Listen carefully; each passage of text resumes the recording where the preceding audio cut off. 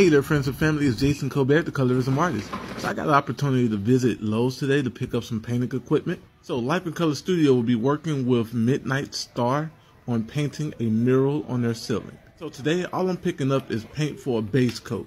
I decided to go with the Valspar 2000 and some very cheap drop cloths. Also, a paint tray and roller and paintbrush set.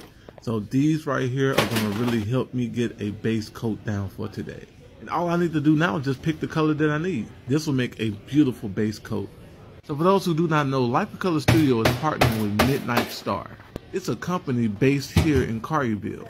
They hired us to create a beautiful mural on their ceiling of their very new building. Words cannot describe how excited I am to get started on this piece. Just look at this ceiling. So much canvas to work with. Please follow along because you're going to like this piece once I'm finished.